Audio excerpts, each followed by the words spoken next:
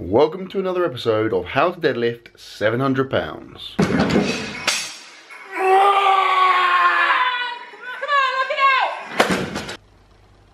Ooh. This is pretty awkward.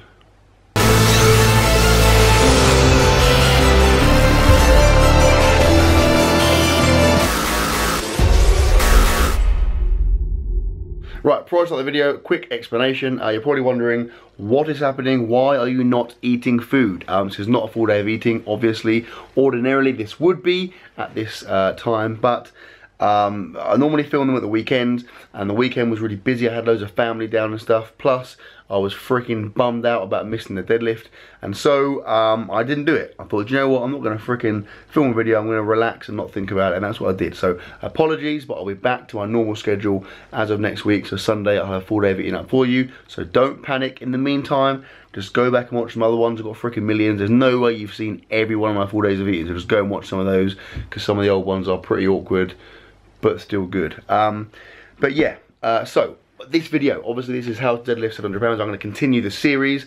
Um, if you did not watch my deadlift, uh, 700 pound deadlift attempt from last week, then go and watch it. Although I did show you it about five seconds ago, so not really worth it. Um, it's summarised. I didn't get it. Uh, which is pretty freaking rubbish. Um, I uh, was pretty bummed out, like I said a minute ago, I spent the week leading up to it like thinking about it loads. I was like convinced I was going to get it. I was freaking excited slash nervous for it. Um, and I didn't get it. Now, at the time, I was pretty pissed off basically. Um, but, I mean, looking back at it, basically it was a grip issue. I thought it was a grip issue. So, um, when I basically the, the the deadlift came up, it came up relatively quick for for a PR attempt, and then about I don't know like a few inches from lockout, it was right on my fingertips. I couldn't hold it and I, and I dropped the bar. Now, um, I assumed at the time it was a, like I said, it was a grip issue. I just thought, well, you know, the weight's heavy. I can't hold it. And I was thinking this is a disaster because I've never had grip issues in the past. So now I'm going to have to start like working on my grip and, and I was kind of thinking, oh my God, now next time I go for a heavy single, I'm going to be panicking about whether I can hold the bar or not. But um, I watched the video a few more times, uh, did a bit of a nerd analysis um, in my room in the dark. Um, and I noticed that basically when I when I yank the bar at the bottom so you notice when I set up I kind of yank the bar before I start pulling. And I do that to, that's my kind of cue to engage my hamstrings.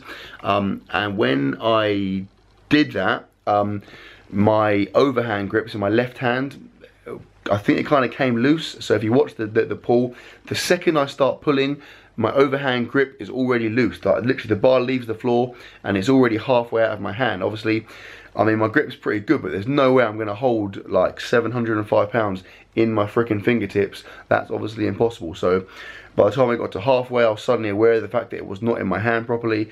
And then I got near lockout and I couldn't, I was just, it was impossible to hold it in my hand. So um, in hindsight, obviously, um, it's freaking annoying that I couldn't hold on to it, but actually it's kind of it's obviously a good thing because it means that it's not a grip issue. It was just the fact that I didn't set up properly. Um, and uh, to prove that to you two not I didn't, I didn't do this to prove it to you but this is going to prove it to you that two days later um, even though I was meant to be starting a new training cycle, I thought, you know what, I'm really, I spent all weekend being annoyed about missing the deadlift, so I thought, you know what, I'm going to go in and I'm going to try it again, knowing that I wasn't going to be fresh. So two days later, I went in and tried it again. Um, I felt pretty good warming up. Uh, my penultimate single was pretty much as fast as it was before the, the PR attempt itself.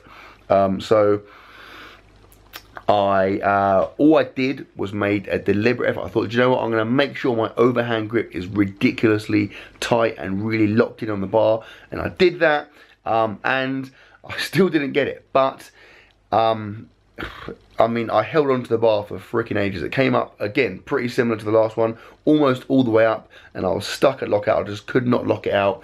And that was basically because I attempted that weight, like, 48 hours previously. Obviously, to do you know that uh, a heavy single, you know, obviously a PR attempt, especially for a deadlifting at that weight, there's no way you're going to do it again within a few days. It's, it's just unrealistic. So I kind of knew that in the back of my mind, because I was so annoyed, I really wanted to go and get it.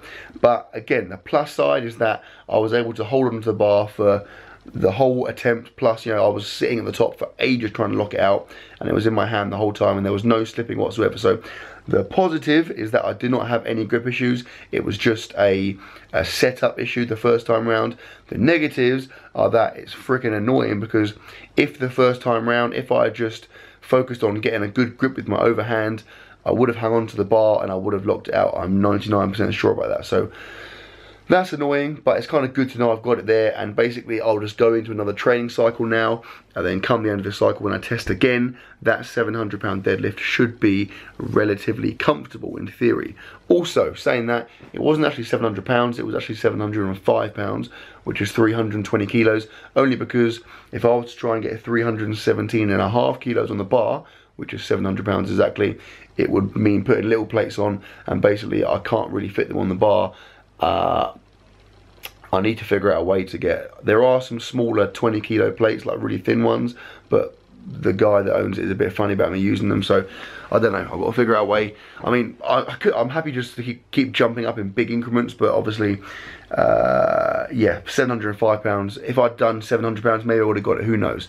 But anyway, it's done, it's done. Um, like I said, the good thing is that I know it's there, I know I can hang on to it. Um, I just need to make sure that when I go for a PR in the future, I'm more thoughtful in terms of my setup. And that's something I want to talk about briefly, is that when you go for PRs, you need to make sure you are executing them in the same way you would uh, any training lift. Now, with a deadlift, it's particularly important that you have a little routine, a little setup.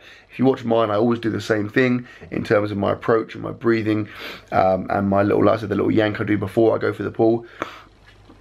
Uh, but it was just the case that I think I was a little bit maybe over exuberant when it came to the, the PR attempt. But it's really, really important that whatever you do in training, you do it consistently and then you, you, know, you keep doing it over and over again. You drill it in so it's super second nature. There's no kind of thought process involved. And that means that when it goes to a PR attempt, obviously what I did is not going to happen to you. You're not going to make a silly mistake, um, and you should, as long as the strength is there, you should get the lift because there is nothing more annoying. I can I can tell you now, there is nothing more annoying than knowing you have the strength to get a lift, but knowing that you did something stupid, uh, technically in your setup, to prevent you from getting it. So make sure you don't make the same mistake because it was annoying. Anyway, uh, moving forward, I am, like I said, into. I'm about to start a new training cycle now. Um, I'm probably going to go six weeks, I think, probably, before I test again. Um, speaking of which, obviously when I tested my deadlift, I did test my squat and my bench press as well. They were okay.